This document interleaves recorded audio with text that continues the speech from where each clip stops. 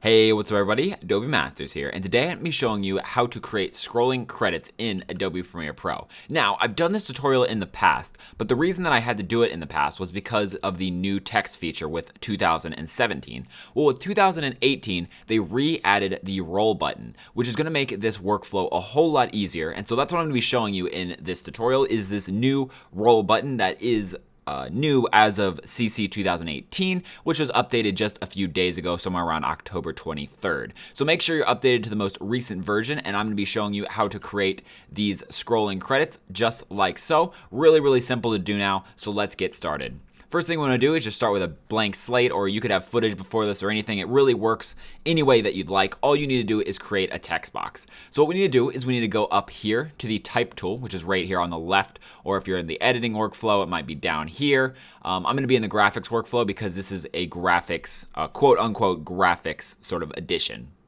So what I want to do is I want to go anywhere in here. I want to click once to create a dynamic text box. I don't want to click and drag, and I'll show you that why in a second. But let's just go ahead and click once to create this text box. Now, I'm going to go, I just have a random list uh, name generator right here. I just grabbed a whole bunch of names here, and I'm just going to Control A, Control C, V, Control C, and then Control V right into here. And all I was doing there was I just copied all the names over here and put them in here so that we have some names to work with. So what you can see is happening right here is since it was dynamic, it created um, a box that fit all of these names. For example, let's say if I tried to draw out a box and then click Control V, you'll see that it tries to fit everything in this box. And if I want to make the, you know, the list longer or shorter, I have to adjust the size of the box. We don't want that. So we want to just click one time with our text tool and that'll create this, which is a dynamic box. And whatever we type, it's going to fit our text into that box. And that is going to be very helpful for us because we don't want to have to, like I said, keep readjusting it. Once we have our box created, let's go ahead and double click on it so that we have everything highlighted. If only like one part highlights or anything, you can just hit Control A or Command A on a Mac to select all.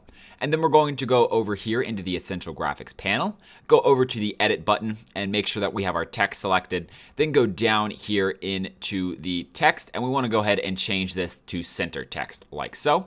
And you can also change the font right here, you can see it's changing all around. And you can also see that since it's a dynamic text box, everything is changing with that as well. The, the text box size is changing with our change of the font to fit better. So once we have this all centered nicely, we just need to click on the box so that the entire box is highlighted. Then we're gonna go over here to this horizontal center and click on that button and it's gonna center it right down the screen for us and this will allow us to not have to, you know, try to figure it out. This will be a perfect center every time. The button is right here.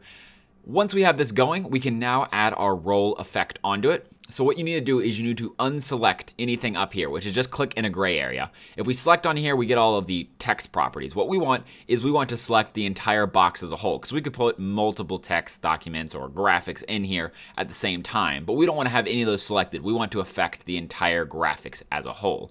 So once we unselect from here, we have the ability to go down here and click our new button, the roll button. Once we click the roll button, that is all we have to do. You'll see that there's this scroll bar over here, and this shows us the scroll of all of our text on the right.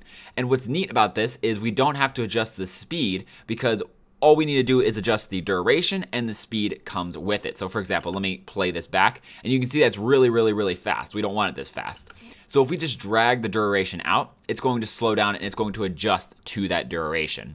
So our speed is a direct sort of derivative of how long our um, how long our credits are. So let's reduce the speed just a little bit more by making them a little bit longer.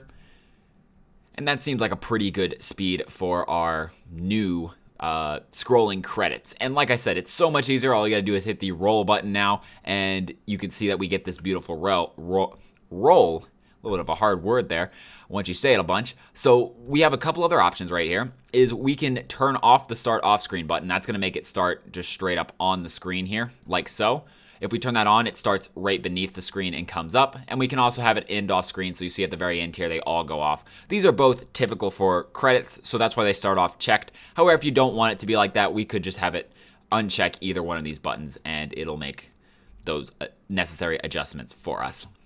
You can also change the intro and exit durations, making them faster or you know sort of slower um, with the ease in and ease out, and then you could create a longer pre-roll or a longer post-roll to give it some more space on either side.